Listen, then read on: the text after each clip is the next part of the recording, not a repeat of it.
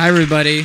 I am from the internet and from the United States, and I'm uh, I'm most known for my YouTube videos. And so I'm going to show you a selection of just a few of them, and I'll talk a little bit about their significance to me. And I don't know if you should call these videos poetry or not, but they're what happens when a poet decides to start making YouTube videos.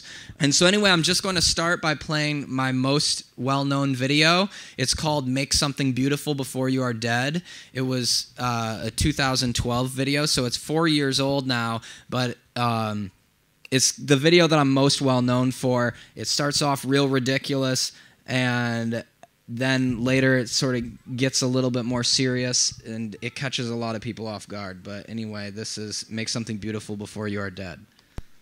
I'm gonna find the best deal. You know, you give me some options where I can shop. I'm gonna really look around. I'm gonna be like, you know what? There's a better deal. Two words, jackass. Dog the bounty hunter. Two words, jackass. YOLO. Speak softly and carry a big stick. This is advice from Theodore Teddy Roosevelt, the inventor of Teletubbies. I'm Queen Latifah. Okay, I'm gonna put my dick into a juice press. My grandma is definitely working on her Pinterest following. This is a fucked up tree. This is three trees coming out of the same tree. This tree is fucking stupid. Now that's a true skill set. Bounty hunter. Nice. As the Marxists say, superstructure reinforces the freaking base. Get me in control of ABC Family and I will fuck this country up. Like the way that it focuses in and out and it kind of floats around the screen. That you are here. That life exists and identity. In high school, I did get into arts. In one sense, I was playing in bands a lot. And I played mostly in death metal bands, and I mostly played drums.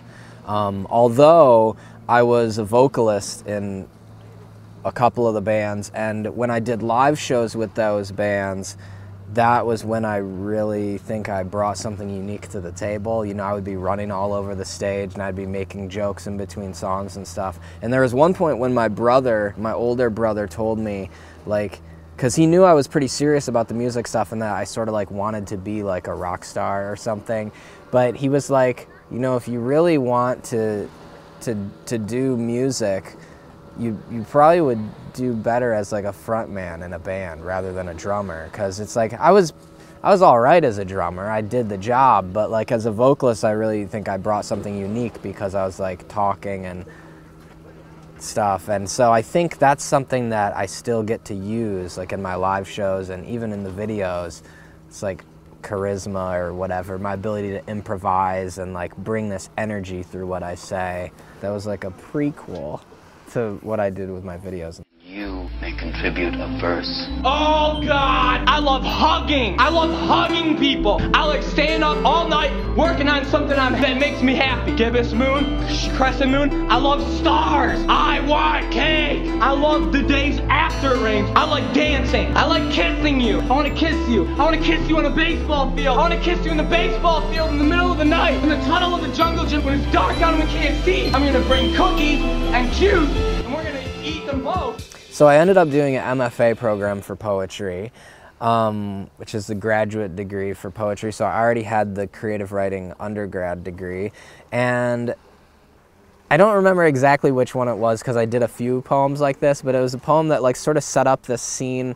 Like I was like talking about some worms or something, and like sort of like getting some nature imagery going in like the first four lines or so, and then the last line was just this found line from like Iron gym turns your doorway into a gym in minutes or something. It was like this line from an advertisement or it was something like that that just sort of made this like cheap joke in the, in my teacher's opinion and and what she wrote on the paper was like save this stuff for your blog and I was like thinking critically about this at that time because I was finding stuff online that where I was actually becoming more interested in that. I was looking at memes online and some blogs that do comedy and like YouTube stuff. And I was like, you know what? Some of this stuff actually has a similar sense of humor as me or a similar uh, worldview that it's promoting or something.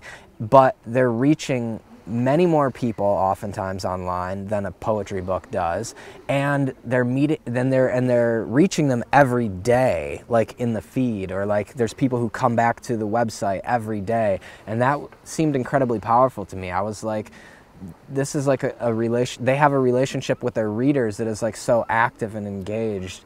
Um, so I was thinking about like the power of blogs, and then she says this thing, "Save this for your blog," and I'm just like, a blog is potentially so much more powerful than all these literary journals that you you know submit to and all that. It just seemed really oblivious, and so at that time it was seemed just like very clear to me that the establishment was so behind on this stuff that there was room to like to like sort of identify even harder as like an internet poet or an internet writer and sort of like be the antithesis of what the establishment was, you know? I spent a lot of time in 2011 and 2012 um, around that time when I was finishing, or, you know, when I was in the MFA program, but sort of sick of it, and then the period immediately after it, too. I really spent like most of most days just replying to people's comments and starting conversations on the internet and really like through like like if I post something out on the internet a lot of people won't really care necessarily but if I go and talk to you and you have a message and a notification from me or maybe you have 10 notifications from me because I went on your page and liked everything and then commented on a few things it's like people are like who is this Steve Roggenbuck person and like that was how I built my first bit of my audience was just like individually interacting with people and stuff. Um, and people really appreciated that. And there, it, it really had like a very active community feeling from the beginning. Like I think actually in later years, like 2014, even to the present, I have more total reach now, but in terms of like the amount of like interaction and like people making like fan art of me and stuff. I feel like even like 2012 was like the height of that because I was doing so much interaction, people knew that it was like I was paying attention and would appreciate that type of thing and stuff.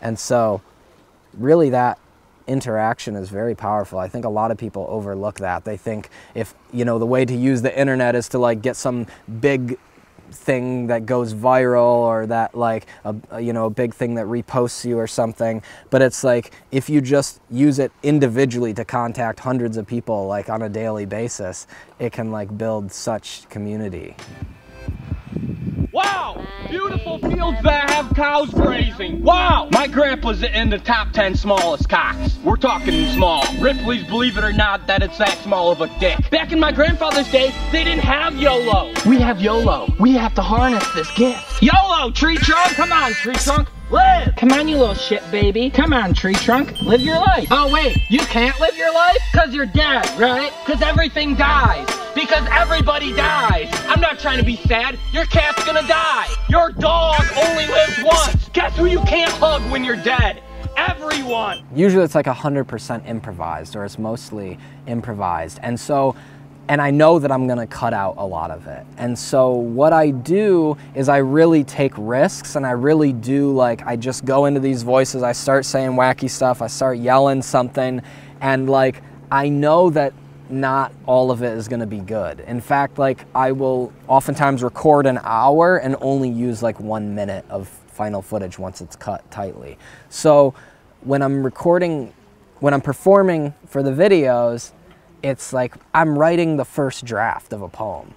And I, it's kind of like automatic writing, this concept where you just you write as fast as you can and you don't even like try to censor at all what comes out and then you can just go back later and take the few good parts you know and i like to be alone doing it because I don't want people to hear all the stuff that I say that's not funny and stuff that I, I would feel embarrassed that like I'm trying to make some joke but it doesn't really work out or, or I try to make some inspirational rant but it doesn't feel quite right. I kind of feel like corny when I'm doing it or something. So like I try to find places where I'm isolated when recording the videos. And so a lot of times I go out somewhere to record like in the woods or on a beach or something and I do not know what I'm going to say. Maybe I have a very loose subject in mind. But oftentimes, then I don't even end up talking about that subject.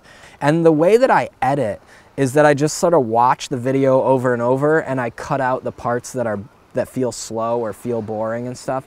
And what kept happening with these videos is that I would make a video where I was talking about a subject But what was more interesting to me was those side jokes or those like poetic tangents that I went on and stuff. And so over time, I sort of allowed myself to keep cutting out all those explanatory, slower parts, and it became just this thing where it was like this sequence of very tightly cut, like asides and jokes and tangents and poetic rants and stuff. And then it became a thing where it's I'm not even attempting to talk about a subject anymore. Usually, it's just like a bunch of different voices and all this stuff. Seriously, humans are fucking up. Some people die because they don't have food. Some people don't have homes. Almost everybody wakes up and does something they don't like. We can do better than this. Human beings can do better than this. Rise up, you frickers! You are literally gonna die. Make something beautiful before you are dead. Ah! Yeah, fricker! The rain is beautiful. Rain is beautiful.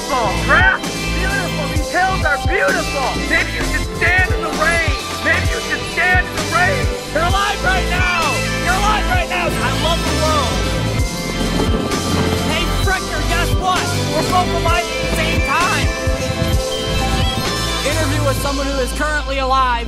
What's it like? It's fucking beautiful.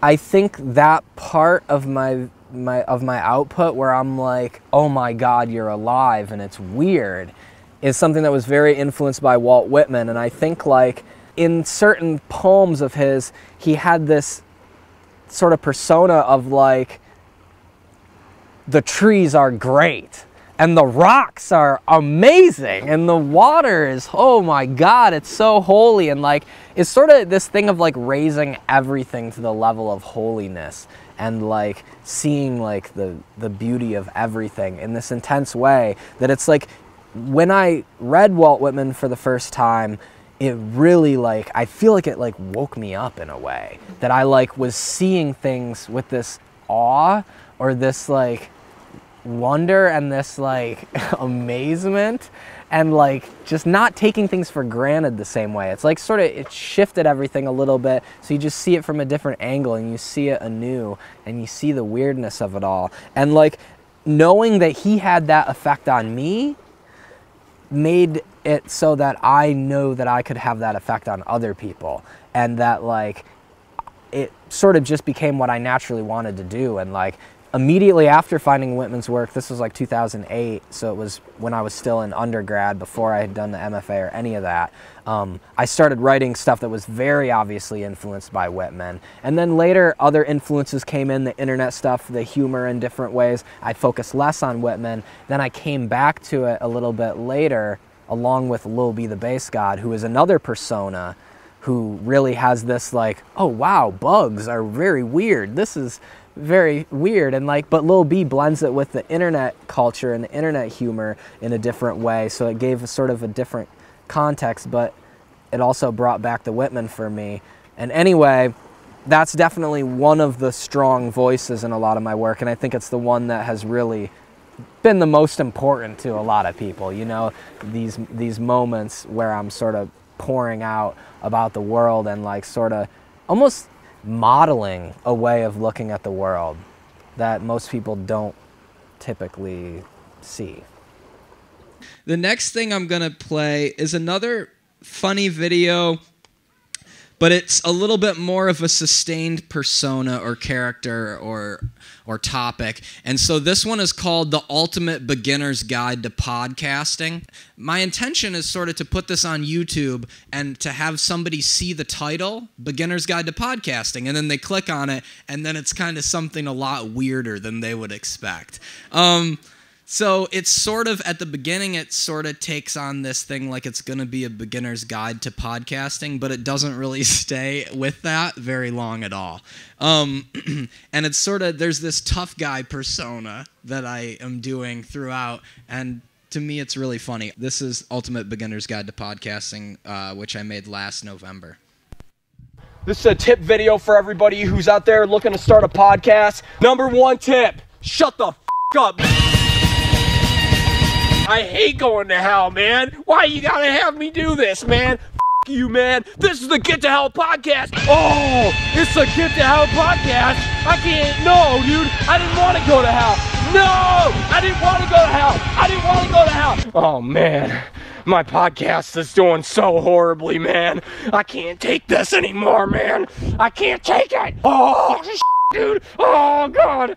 Mom. I think the thing that I love in poetry and art a lot is surprise and like if I can say something that is like very unexpected to me and use a voice that's like, what, who would say that, you know? A lot of times, somebody once told me that what they really liked about the voices and stuff and the way that the videos are cut is like, there's all these little excerpts from what you could imagine to be longer conversations. A lot of times I'll be looking off camera and I'll be like talking to somebody who's not even there, you know, but I'll be like as if I'm responding to somebody. And a lot of times when I'm recording the video, it will be like I'll be like having that like conversation, like as if but then when I go through the footage, I decide only this line is funny, so I cut out the rest around it and it's like out of context. And I, I like that there's just so much there that you could dig deeper into. A lot of times people will watch a video of mine and and they might say like what the hell did i just watch? I like that response. I also like the people who even do like it and do feel like they get it. Then they watch it again later and they and they notice a line that they totally missed the first time. Or maybe they were laughing over a different line but it was so fast moving that they entirely missed the line right after it or something and so there's a lot there. I think it creates more replay value. I think my favorite bands are the bands where you can listen to it a lot of times before it gets old rather than the bands where it's really catchy the first time, you know? So I really like to have that depth there and that potential for replay value. So I like I like the amount of surprise. I like that it's not very easy to pick out these two easy characters or something, but it's like a whole blend of different characters. This one is my favorite video that I've made this year. This is I am not responsible for anything the moon does this month. My whack-a-mole game is very hot right now, and I do have a pump. Don't take this the wrong way, but I run a self-sucking blog. Dude, this is pretty sweet, but I'm gonna go home and self-suck, dude. I gotta go, man. Ah. I am not responsible for anything the moon does this month. You know that I've been critiquing the moon for a long time on its style. Society would be way different if we didn't hide everybody's poop. Not saying it would be better. Well, it's the self-sucking demographic. This ain't a documentary about bird cock. Watch this footage. This is actually Tim Allen fighting someone with his bare hands, and he, he's vicious. You sound like a buffoon, Johnny. You're using your voice all wrong. I saw that Ted Cruz ate a booger on TV. Dude, I would eat way more of my own waste to become president than Ted Cruz. Together, we can stop the annihilation of the earth by the rich elites.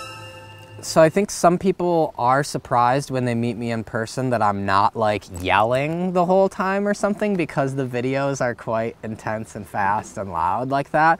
But I think the reason for that is this this impulse that I have that when I know that people are giving me their attention, I feel like I have to entertain them or I have to like be worth their time. I really feel like I respect people's time and that's partly why the videos are edit cut so tight together. Part of it's because I like that surprise and I like keeping there a lot of depth and like weirdness in there. But like also it's because like I want to pack a lot of laughs or a lot of value into like one minute, you know? And so like when when an artist makes a video where they're just like sitting there eating or like sitting there like doing like something and it's like the concept is that they're not doing anything, to me I'm like, okay, cool. But it's like people people's time is valuable, you know? So like I'm not really going to expect somebody to sit there and watch it, you know? I really crank up the intensity, you know, on the internet. I really make it a louder,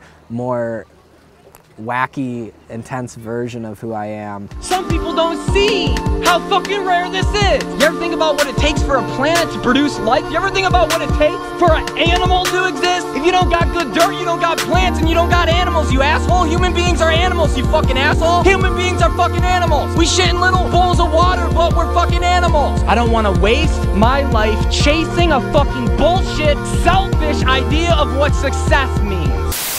It's really interesting to think about whether the videos are poetry, quote unquote, whether they're poetry. I think you definitely can view them from that way. And I've made the argument at various points that they can be viewed that way because I think if you look at the history of avant-garde poetry, you look at what the Dadaists did and the Surrealists and minimalist poets who did incredibly short poems and visual poets who do, you know, stuff that looks more like graphic design or visual art. And um, there are precedents for calling what I do poetry. And I think a, an exciting way to look at it to me is to not just view the, the videos as poetry, but to view the entire output of all the social media as poetry because looking at like all the interaction on Twitter and all the you know the comments on Facebook and the images too and just like seeing it as like this massive output. So I think there's ways of viewing it all as poetry but the thing is also you don't have to view it that way to appreciate it. There's people who come to my videos who don't read any other poetry who maybe don't know that I identify as a poet or whatever, and they just like me as a YouTuber, you know? And I think that's just as valid and I think that's just as powerful sometimes. So I don't know whether to really make the argument or how much to make the argument or, or whatever. It can be interesting to talk about sometimes, but ultimately it's not the ultimate point to me. You know, the point is like the impact that I have on other people and expressing myself how I want to express myself. And it's like, if that takes me in another direction that is even further from poetry, then I'll go there because that's what really matters to me, not poetry.